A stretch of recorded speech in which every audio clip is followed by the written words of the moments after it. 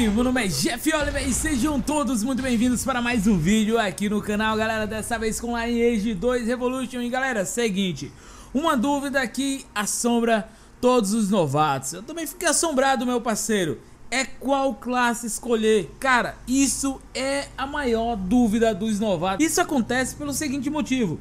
O jogo, ele tá muito balanceado, não tem aquela classe roubada, quebrada, que tem muita vantagem contra todo mundo.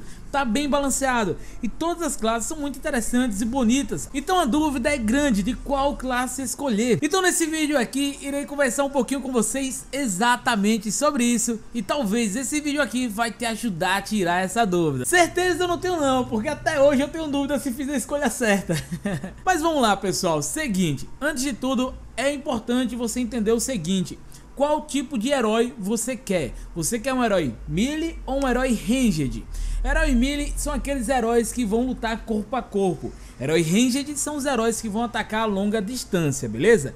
Digamos que você prefira o herói que ataque a longa distância. Quais são eles? O mago e o arqueiro, beleza? Aí você vai ter que escolher qual tipo de mago você quer. Um mago para ajudar a equipe ou um mago de dano, beleza? E se no caso for o melee, se for herói corpo a corpo, você tem que escolher se você quer um herói que aguente mais porrada ou que cause mais dano. Tenha isso em mente, defina o que você quer. Vamos começar falando sobre as raças. Temos humano, elfo, elfo sombrio e anã. Para você saber quais as diferenças entre cada uma das raças, você pode voltar aqui a tela e quando você selecionar, um, voltar um pouquinho mais, quando você selecionar qualquer um deles, você verá as estatísticas aqui abaixo. No caso aqui do que já estamos, a Elfa, ela tem aqui muita evasão e MP. Isso quer dizer que ela vai se sair muito bem como uma arqueira com uma boa mobilidade, Além disso, o MP, então ela vai sair bem como mago também. Então essas duas posições combinam muito com ela, beleza? Então você vai escolher a raça de acordo com o que você pretende escolher. Se você quer pegar um mago talvez um arqueiro, a elfa pode ser uma boa opção. Agora vamos falar da Anan. Qual a vantagem dela? Como você pode ver aqui, o ponto forte dela é o HP e a defesa. Sendo assim, ela é o melhor tanque do jogo. Ela é quem vai aguentar mais porrada, beleza? Então você pode selecioná-la para jogar como um guerreiro, é a melhor posição. Então ela se sai muito bem no corpo a corpo. Você pode escolher qualquer categoria que tenha uma arma corpo a corpo. Isso vai encaixar muito bem com esse tipo de heroína. Ela como arqueira não será tão boa assim nem como maga, beleza? Então já fiquem cientes disso. Se você quer um mago ou um arqueiro, a Anã não é a melhor opção. Porém, para um tanque é ótimo, você pode escolher ela como uma guerreira, beleza? Bom, a raça do Elfo Sombrio tem como ponto forte o crítico e o ataque. Sendo assim, Arqueiro encaixa muito bem para ele por ter muito dano e muito dano crítico, além de usar também como um assassino com a daga, funciona muito bem. Você também pode utilizá-lo como guerreiro, ele só não vai funcionar tão bem assim como o tanque da equipe, ele não vai aguentar tanta porrada assim como a Anã, por exemplo. Agora vamos falar da raça mais completa, que é a raça dos humanos. Quando eu digo completo, quero dizer que ele vai se encaixar bem em várias posições. O humano ele se encaixa muito bem na posição de guerreiro, porque ele tem uma boa defesa, um bom HP e um bom ataque. Então, sem dúvida alguma, a posição de guerreiro é muito bom para ele. Também pode se virar como um mago ou arqueiro, porque ele é bem dividido. Então vamos lá, vamos avançar um pouquinho aqui. Vamos escolher a Anã, botar no próximo. Vamos colocar aqui árvore de classe, beleza? Que aqui vai ajudar bem mais a escolher.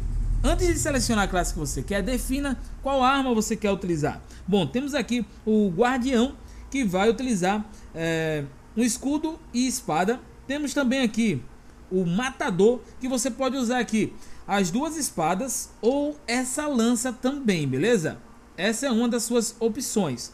Além disso, aqui na classe de ladino, essa classe que falei agora foi a de guerreiro, beleza? Em guerreiro você pode selecionar espada e escudo. Você pode selecionar duas espadas ou uma lança, beleza? Em guerreiro.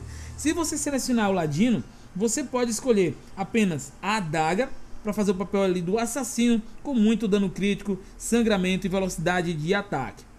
Ou você pode optar também por um arco, isso aí, para atacar a longa distância com muito dano, porém menos velocidade de ataque.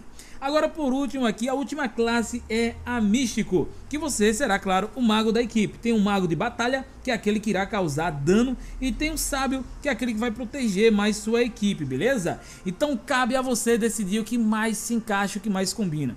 Fique tranquilo que não existe é, classe ou raça superior às outras, está bem balanceado. Então o que indica é o seguinte, escolha a arma que você quer utilizar, beleza? E depois você escolhe a sua raça de acordo com o armamento, beleza? Então digamos que você prefere jogar como um matador, como um matador com lança.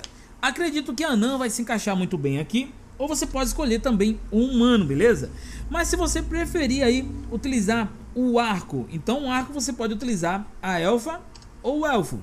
Ambos são ótimos nessa posição, beleza? Se você preferir um assassino, você pode utilizar aí o elfo, ele é excelente para essa posição, beleza? Se você prefere utilizar um mago como um mago de dano, você pode utilizar aqui o humano, ou quem sabe até a elfa, que sem dúvida alguma, acredito que na posição de mago, ela será a mais forte, beleza? Então é isso pessoal, acho que já expliquei tudo o que deveria ser mencionado sobre essa questão das classes. Não é uma escolha fácil, é realmente uma escolha difícil. O bacana é que o jogo possibilita que você crie quatro personagens. Então se você não criou de início, você pode ainda criar e começar do zero e tudo mais. Eu sei que dá preguiça de upar, mas é rapidão se você for direto na masmorra em cerca de 3 horas você consegue chegar no nível 30, 35 mais ou menos, beleza?